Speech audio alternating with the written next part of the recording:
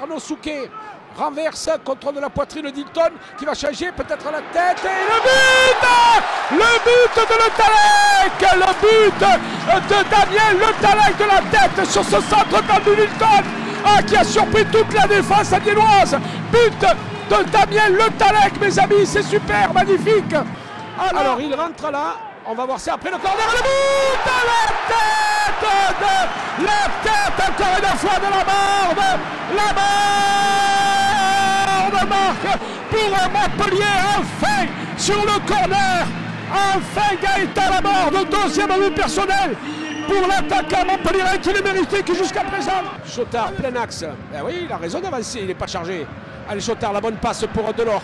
Andy, la frappe attendue d'Andy.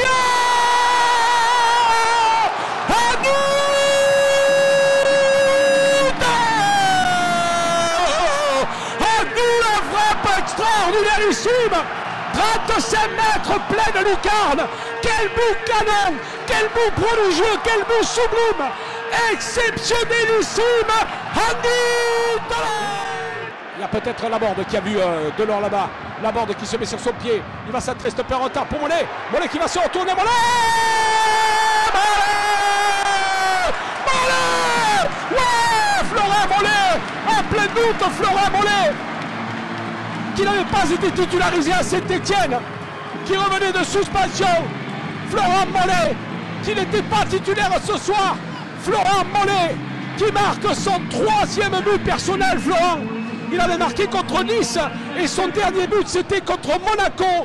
Et eh bien voilà la meilleure des réponses.